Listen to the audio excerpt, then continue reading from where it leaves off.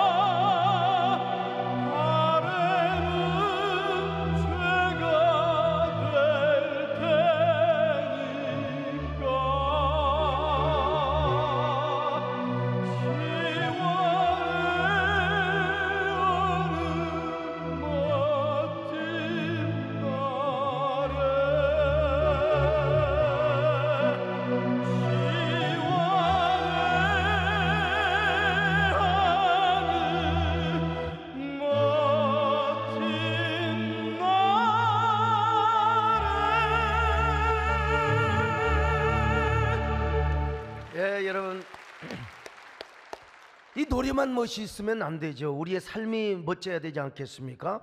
여러분의 삶, 10월에 아주 눈부신 삶이 계속될 수 있기를 축원합니다. 10월뿐만 아니라 11월도 따뜻한 삶이 계속 이어질 수 있기를 바랍니다. 근데 분명한 것은 이제 사람이요 가을을 맞이하면 뭔가 상념에 잠기고 사색에 잠기게 되는 거예요. 봄은 사람들의 마음을 들뜨게 합니다. 그러죠? 막 가을 되면 들뜨나요? 뭔가 좀 깊이 생각하게 되고 사색하게 되고 말이죠. 마음을 차분하게 합니다. 그리고 누군가를 그리워하거나 아름다운 사람들을 생각하게 하는 계절이죠. 막 가을이 막 들뜬 사람이 있어요. 우리 백공기 시장님 가을 되면은 누군가가 그리워지고 그렇지 않나요?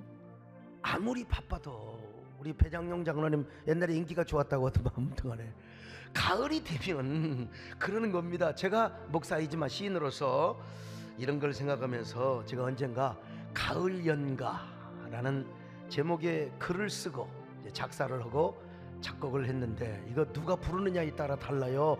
대한민국 최고의 성악가 우리 박미작 교수님을 통해서 한번 들어보시겠습니다.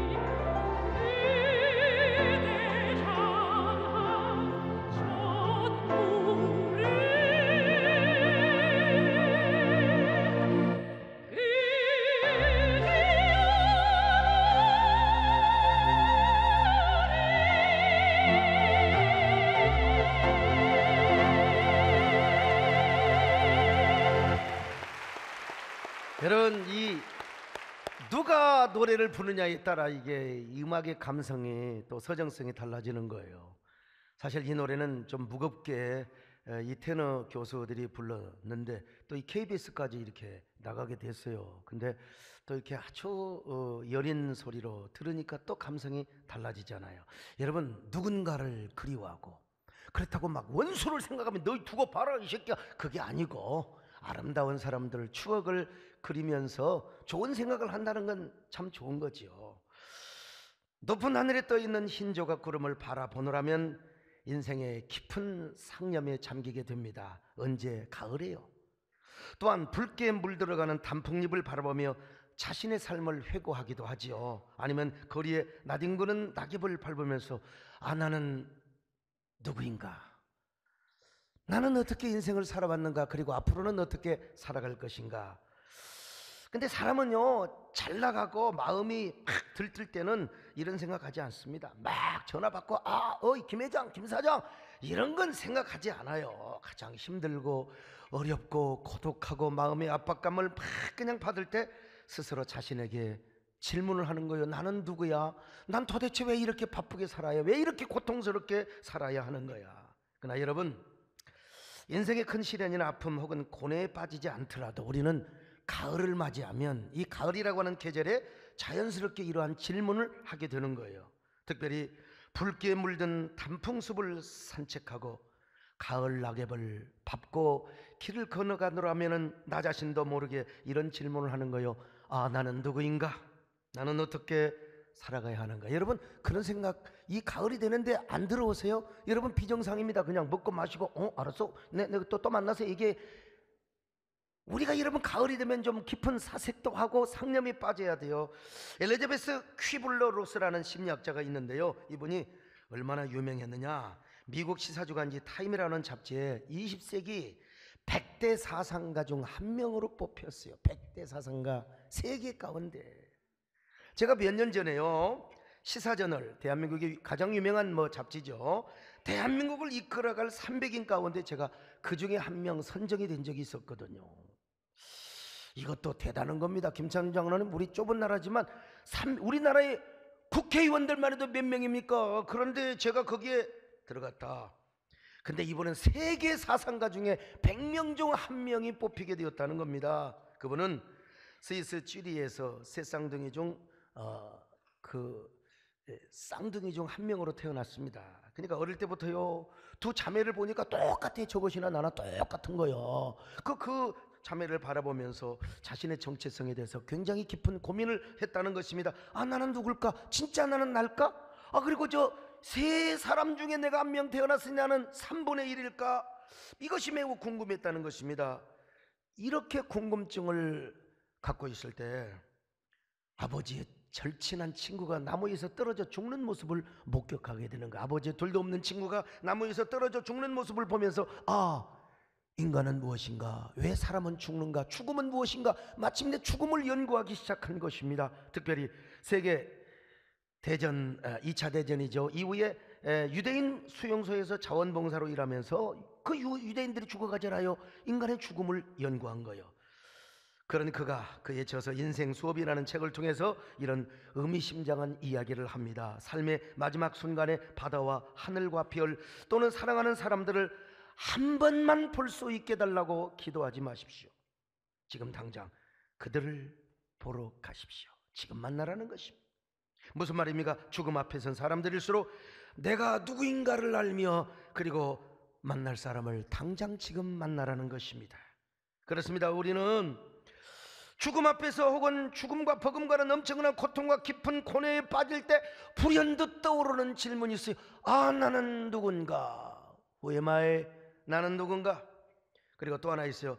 나는 이제부터 인생을 어떻게 살아가야 하는가? 오늘 저는 이 두 가지 주제를 가지고 말씀을 나눠보려고 합니다. 첫째로 나는 누구인가에 대한 문제입니다.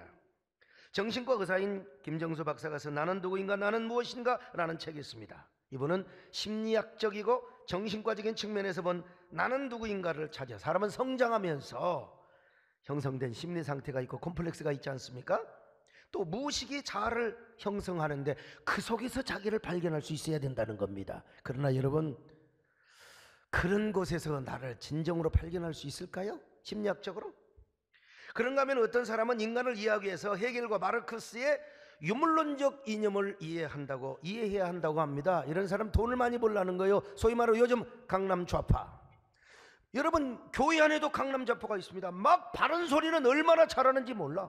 뭐 어느 교회가 뭐 세습하고 어느 교회가 어떻고 저떻고 그러는데 내면에 가서 보면 지는 더 부패해 있어요. 자기는 더 부패해 있다니까요.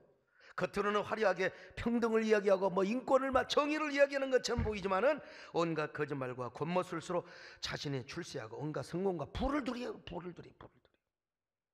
그런데 독일의 신학자인 디트리히 본회퍼가 있습니다. 그는 세계 2차 대전 당시 유대인을 학살하는 히틀러의 나치 정권에 대항하다가 순교를 당했습니다.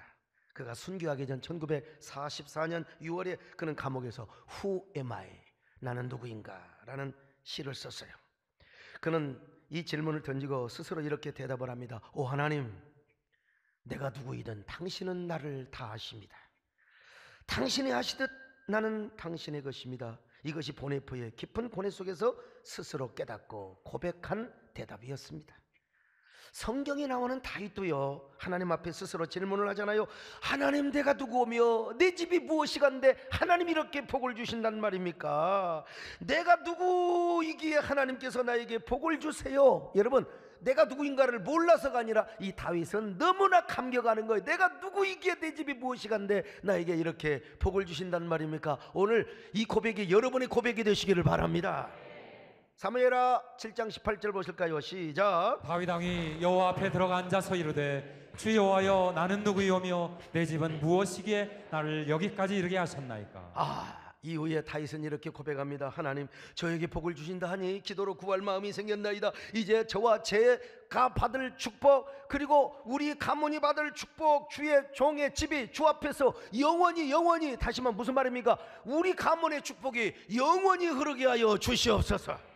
자, 27절로 29절 같이 볼까요? 시작. 만군의 여호와 이스라엘의 하나님이여 주의 종의 귀를 여시고 이르시기를 내가 너를 위하여 집을 세우리라 하셨으므로 주의 종이 이 기도로 주께 간구할 마음이 생겼나이다 이제 정하건대 종의 집에 복을 주사 주 앞에 영원히 있게 하옵소서 주 여호와께서 말씀하셨사오니 주의 종의 집이 영원히 복을 받게 하옵소서 하니라 여러분 우리 그리스도인도 마찬가지입니다.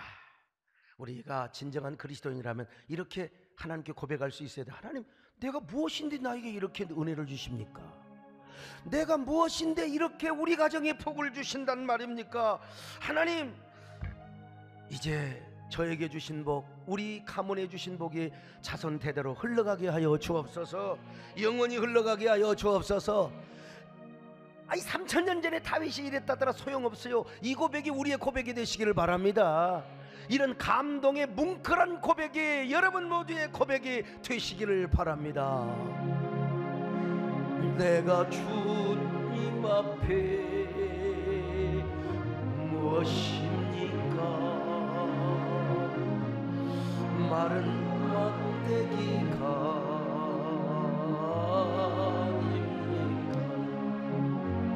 내가 당신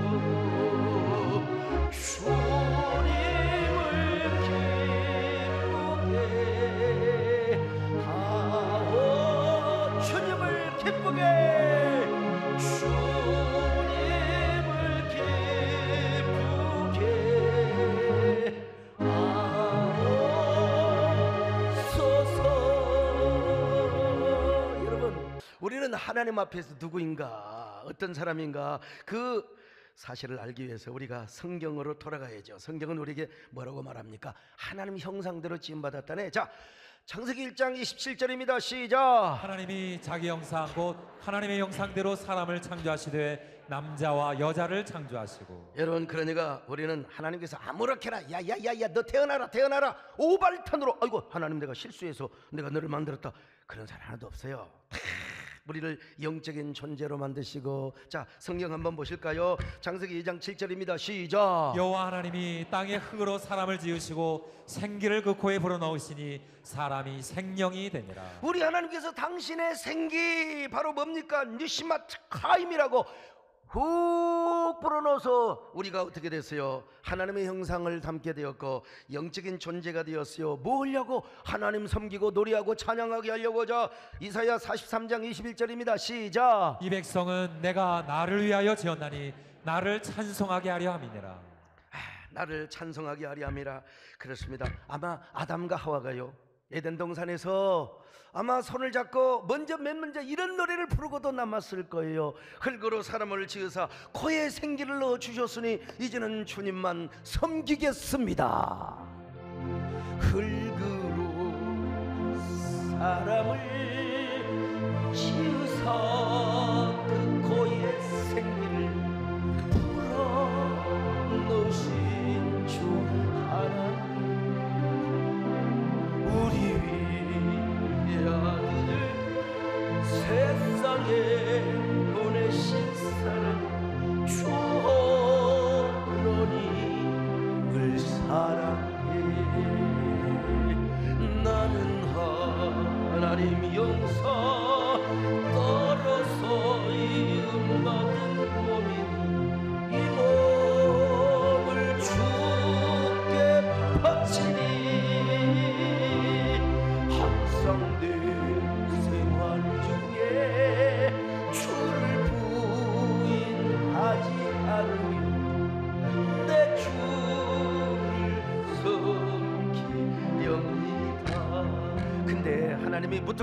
그냥 하나님의 형상대로 지은 게 아니에요 애정하사 당신의 각본대로 당신이 우리를 향한 마스터 플랜이 있어요. 이걸 애정 선택이라고 하는 거예요. 그래서 우리를 하나님의 자녀로 지으시고 기업으로 삼아 주셨어요. 자, 에베소 1장 4절 5절입니다. 시작. 곧 창세전에 그리스도 안에서 우리를 택하사 우리로 사랑 안에서 그 앞에 거룩하고 흠이 없게 하시려고 그 깊으신 뜻대로 우리를 예정하사 예수 그리스도로 말미암아 자기의 아들들이 되게 하셨습니다. 여러분 이런 말씀을 읽고 묵상할 때마다 얼마나 감격이 넘쳐요. 여러분 진짜 가슴이 울렁하네요. 나는 막 그냥 울렁거리는단 말입니다. 여러분 제가 여러분이 이따금씩 질문하는 게 있어요. 꽃이 나비를 선택했나? 나비가 꽃을 선택했나? 맨날 물어봐도 나비가 꽃을 선택했다네. 뭐 틀린 말은 아닙니다. 제가 뭐 대구 가서 구미 가서 군산 가서 뭐 광주 가서 집회할 때마다 물어봐 뭐 부산 가서 지난번에 물어봐도 나비가 선택했구만요. 나비가. 여러분 나비는 어쩔 수 없어요 생리적으로. 꽃 향기를 맡으면 그냥 자기도 모르게 꽃 속에 파묻히는 게 나비라는 존재입니다. 나비가 어디 똥파리 오고 친구하겠어요? 어디 뭐 걸음더미 가서 거기서 뭘 빨아먹겠습니까? 나비는 꽃을 꽃을 보면 그냥 자기도 모르게 호박 꽃도 꽃이랑 껴하면서 그 속에 딱 파묻혀요. 본능적으로 그러니까 이걸 역발상 다시 여러분 생각해 보면요. 나비가 꽃을 선택한 것이 아니라 꽃이 나비를 선택한 거예요. 꽃이 향내음이 나비를 불러들인 겁니다. 그런 것처럼 우리도 마찬가지입니다. 여러분, 수많은 종교가 있습니다. 그런데 여러분이 현명해서 예수님을 선택한 거예요? 여러분 현명해서 기독교를 선택하고 여러분들이 현명해서 우리 교회를 나오는 겁니까? 참만의 말씀이죠. 하나님의 애정이었고 하나님의 선택이고 하나님의 부르심이었습니다. 아이고 이런 걸 생각하면 여러분 하나님의 은혜가 얼마나 커요. 하나님이 은혜를 내리셔서 성령님을 통하여 여러분을 오늘 시간도 불러 주셨다. 이 하나님의 절대 조건이 은혜를 믿으시면 아멘 하시기를 바랍니다. 저는 이런 거 생각하면요. 하나님의 예정의 섭리, 하나님의 선택의 섭리가 얼마나 와 나를 향한 주체할 수 없는 불가항력적인 은혜로 나에게 그냥 임해버린 거예요. 여러분 제가 예수를 믿다니 아이 진짜 제가 목사가 되다니 이건 진짜 아우 그냥 지난번에 군산에 가서 집회 연합 집회 그냥 엄청 많이 모여놨더라고 근데 거기 고등학교 친구가 왔다는데 그냥 나만 넣어 가버렸어요 그때 아 이건 뒤지게 싸웠던 애거든요. 아이고 참. 제가 맞았어요. 저 여러분 누구 두드러 패고 다니는 사람 아닙니다. 어린 시절에 저희 아, 아버님은 예수는 쌍놈들이 교회 다닌 저 예수 믿고 교회 다닌다고 저 여러분 이래봬도 제가 초등학교 시절에 고전 읽기 할 때도 내가 불교 성전을 선택한 사람이요. 그때 내가 뭘 알았으면 구약역의 신약 이야기를 선택해줘 불교 성전 달달 외워가지고 내가 도에 가서도 여러분 상을 받았다니까 제가 이래봬도요. 제가 불교에도 전혀 문외한이 아닙니다. 어머니 따라서 참 그 절에 다니던 때가 아니 내가 어떻게 예수를 믿어? 내가 어떻게 교회를 다니고 내가 어떻게 여러분 목사가 되었느냐 이 말이요. 그런데 하나님의 애정과 선택으로 그리고 성령의 거룩한 부르심으로 말미암아 예수 믿고 목사가 되었다. 이게 바로 Amazing Grace. 어처구니가 없어. 그래서 우리 친구들이 너가 목사가 됐다면 어처구니가 없다 이 새끼야. 그래 나도 어처구니가 없다 이 새끼야. 이러한 신비한 은혜와 미스, 비밀스러운 은혜, 미스테리한 은혜. 내가 여러분 노래를 안 할 수가 없지요. 아무리 생각해봐도 아 하나님의 은혜다, 하나님의 은혜다, 주의 은혜라, 주의 은혜라. 여러분, 여러분 그러지 않으세요? 한국에 어떤 학자에 의하면 15만 명, 어떤 사람 20만 명, 20만 명의 목사, 하여간 15만 명이 됐건 20만 명의 목사, 6만 개의 교회, 그리고 천여만의 성도가 있는데 그 수많은 사람들 중에 어떻게 저와 여러분이 한 교회에서 만나 신앙생활 하냔 말이야 한 교회에서. 여러분 우리가 함께 한 꿈을 꾸면서 생태계를 지키려고 한다. 이거 여러분 얼마나 신비스럽습니까? 별처럼 수많은 교회가 많고 수많은 성도들이 많은데. 그 중에 저와 여러분이 만나서 꿈을 꾸듯 은혜를 받고 하나님의 은혜를 누리며 사명을 따라 산다. 야 여러분 이거 하나님의 전적인 은혜입니다 애정의 은혜입니다. 선택의 축복이 아니고 무엇이겠습니까? 아니 우리 수많은 교육자들 지금 교육 파트에서 뭐 일하는 예? 교육부에서도 일하는 교육자들 있지만 아니 여러분 진짜 한번 생각해봐요 그냥 저한테 때때로는 야단도 맞고 호통도 맞고 그렇지만 나는 또 마음이 약해서 야단 맞고 나서만 내가 혼자 운다 그냥 그리고 또 그냥 내가 또 위로해주고 근데 여러분 보세요 아니 저하고 이렇게 사역을 한다는 게 여러분 저는 난 단 한 번도 사람이 고의적으로 저를 막 하면 모르지만 그렇지 않고 단 한 번도 저는 사람을 잘라본 나 못 잘라요 제가 무능해가지고 예? 선정원 장로님 사람이 좀 다 그냥 해야 되는데 그죠? 근데 제가 이렇게 정이 많아가지고 또 우리 장로님들 보세요 그냥 어떻게 어떻게 좋아하고 만나가지고 우리의 만남은 진짜 우연이 아니잖아요 저를 이렇게 뒷바라지하고 그냥 시다바리하고 그렇게 수고해 주시는 장로님들 이가 참 정말 물론 우리 교회 처음 온 사람들이 아, 저- 저 목사는 뭐가 그렇게 당당해가지고 나 스타일이 안 맞아. 좀 나는 여성스러운 목사를 원해. 그래갖고 여러분 우리 교회 나왔다가 안 나온 사람도 있어요. 아 미안해요. 내가 뭐저 스타일이 좀 그래가지고 아무튼간에. 좀 더 잘생기면 좋겠는데 아무튼간에. 그래도 제 마음이 따뜻한 거 여러분 아시잖아요. 그런데 그런 사람이 나갔다? 근데 하나님께서 강권적으로 데려다가 또 딱 그냥 쑤셔박아나요 그래가지고 뭐 우리 목사님이 요즘은 뭐 코 푸는 모습도 어쩌면 그렇게 귀엽느냐고 휴머니티하고 말이지. 아이고 진짜 멀미 나와. 아무튼 간에. 그런데 같이 함께 꿈을 꾸며 행복하게 신앙생활하며 이 시대의 사명을 감당하게 한다. 제가 이러니 여러분 제가 노래를 안 할 수가 없어요. 여러분 이 대목이 오면요. 별처럼 수많은 사람들 그중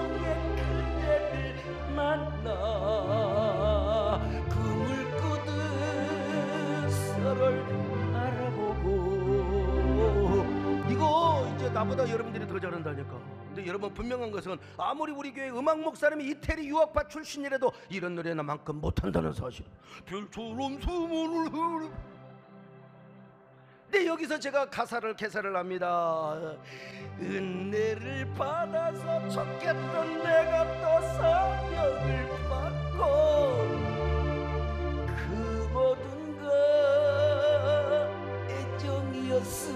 애정이 아닙니다. 애정입니다, 여러분. 그 모든 것 선택이었음을 그 모든 것 기적이었음을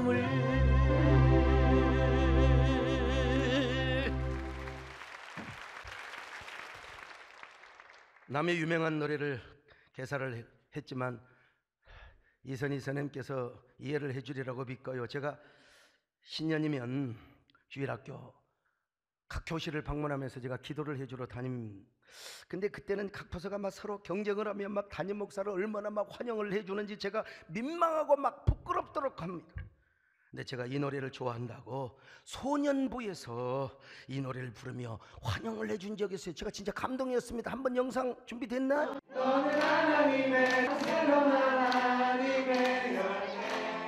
주의 품에 꽃 피운 나무가 되어줘 나무가 되어줘 별처럼 수많은 사람들 그 중에 그대를 만나 그물 끄듯 서로를 알아보고 은혜를 받아서 좋겠던 내가 또 사명을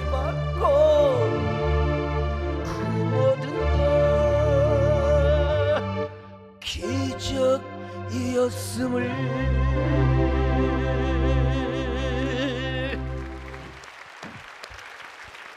그뿐 아닙니다. 제가 입버릇처럼 말했지만 우리는 하나님의 걸작품으로 지음을 받았습니다. 자, 에베소 2장 10절입니다. 시작. 우리는 그가 만드신 바라 너무 짧잖아요. 너무 짧았지만 하나님이 우리를 만드셨대. 여기서 바로 헬라어로 포이에 말한 말이 나오는데 영어의 포임이 여기서 나왔어요. 무슨 말이냐? 우리는 걸작품이요 시다. 시, 시, 시. 그냥 그냥 조잡한 닥서의 시가 아니라 연애 시가 아니라 명시, 명시. 아이고 이거 맨날 하지만 다시 한번 옆 사람 보고 인사 좀 어쩌고 이렇게 명시처럼 생기셨어요. 명시. 그러니까 여러분들은 어떤 사람이냐? 아름다운 사람이요. 그냥 아름답지 않냐? 참 아름다운 사람들입니다. 진짜 유명한 시인도 정호성 시인과 같은 유명한 분도요. 자기 시 마음에 든 거 몇 개 없대요. 우리 하나님이 여러분을 명시로 만들기 위하여 얼마나 얼마나 어떤 사람은 막 얼굴이 이렇게 생긴 사람도 있어. 왜 그래야 돼? 그래야 복이 오는 거야. 예? 다 하나님이 명시로 만드셨어요. 그래서 오늘 본문도 이렇게 말씀하고 있지 않습니까? 자, 베드로전서 2장 9절 보실까요? 시작. 그러나 너희는 택하신 족속이요 왕 같은 제사장들이요 거룩한 나라요 그의 소유가 된 백성이니 여러분 여기서 왕 같은 제사장이라는 말은 왕이만서도 제사장이라는 왕적 제사, 왕적인 권위가 있는 제사장이라는 말입니다. 그리고 그의 나라요, 그의 소유된 백성이라는 겁니다. 우리가 세상에 살지만 세상에 속한 백성이 아니라는 거예요. 우리는 세상에 살지만 세상에 속한 백성이 아니요. 우리 자신은 하나님의 거룩한 나라요. 그 안에 사는 거룩한 권속이요. 멤버, 멤버, 멤버라는 겁니다. 그러니 우리 예수 믿는 사람들 얼마나 아름다운 존재입니까? 참 아름다운 존재지요. 참 가치 있는 존재지요. 아니 눈부신 존재입니다. 할렐루야.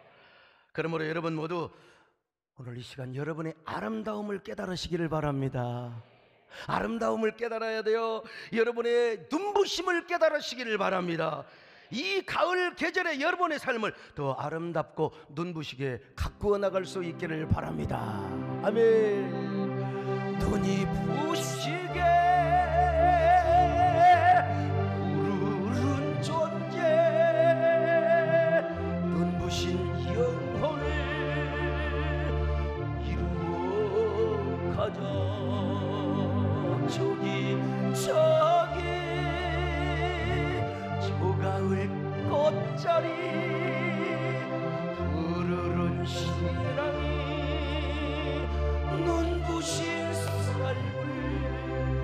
사람 보고 여러분 그냥 지나가면 되겠어요 인사 좀 하세요 어쩌면 그렇게 눈이 부시게 생기셨습니까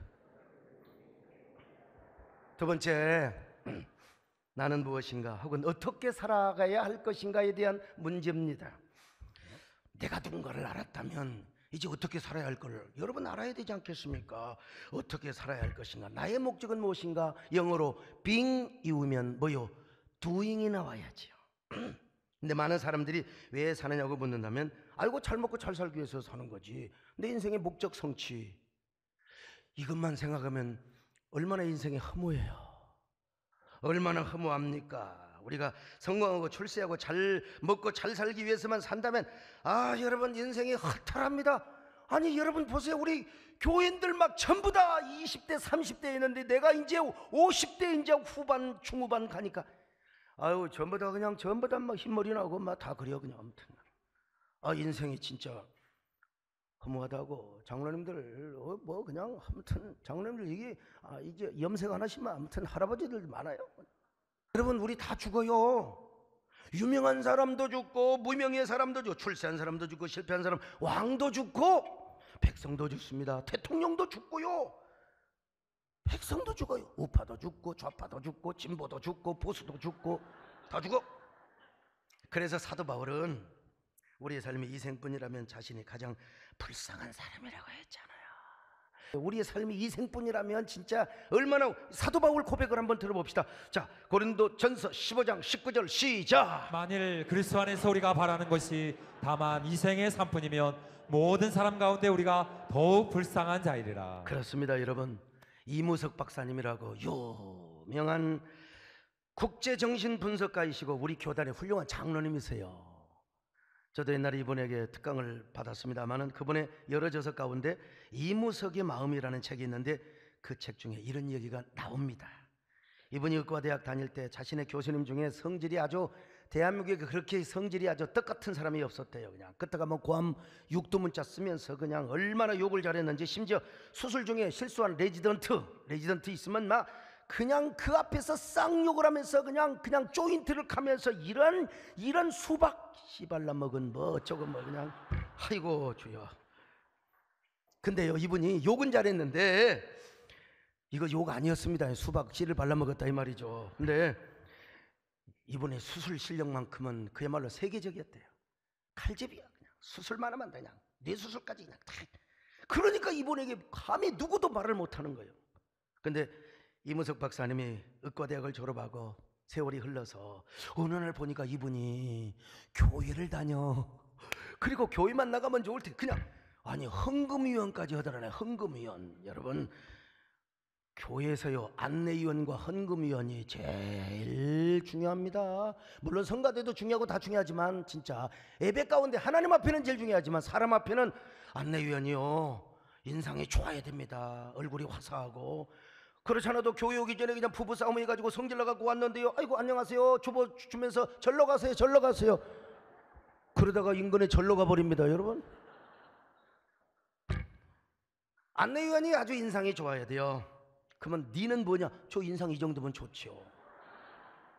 헌금위원은 더더욱 그렇습니다. 그렇지 않아도 헌금을 봉투에 넣고 지금 아 이거 아 이게 이게 돈이 너무 많아 이게 할까 말까 오늘 또 그런 사람이 있으면 자수하여 광명 찾으세요 그냥. 아 그런데 이게, 이게 헌금위원이 막 와가지고 막 푹푹 내지르면서 막 빨리 헌금하라 헌금하라고 그러면은 이런 십장생 같은 여라고 이씨 이 현금 안 해보라 이씨. 그러면 여러분 요즘 가뜩이나 힘드는데 주일 매출이 떨어져요. 아, 그러니까 이 성질이 정말 더럽고 고약한 교수님이 교회 나가서 헌금위원으로 봉사한다. 이 충격이었어요. 충격이요.